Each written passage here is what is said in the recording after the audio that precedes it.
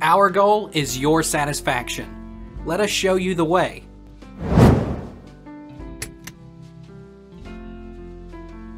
How do I fix a stuck email in my outbox? Emails stuck in your outbox? First step. Try resending. Go to the Send, Receive tab and click Send All. Make sure Outlook is online. Check your mail settings. Is your message being slowed down by a large attachment? Use the correct password. Resend directly from the outbox. Where is Gmail outbox? When you create a message and send it, you still receive Google's confirmation message that the email sent.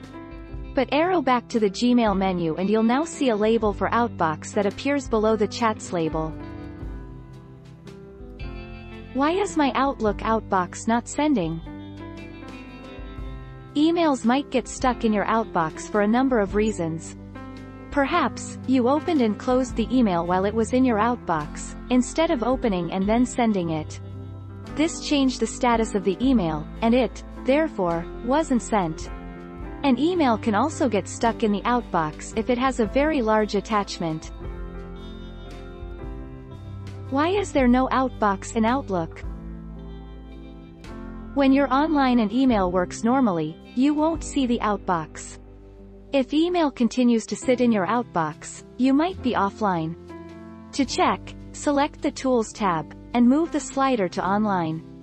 If you change your mind and don't want your message to be sent, you can cancel it while it's still in the inbox.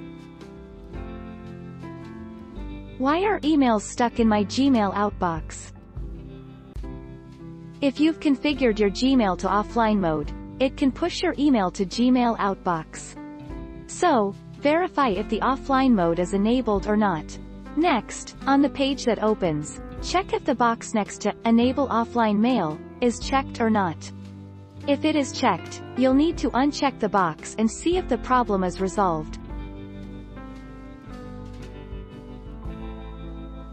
Take our lead. Let's help you make your mark.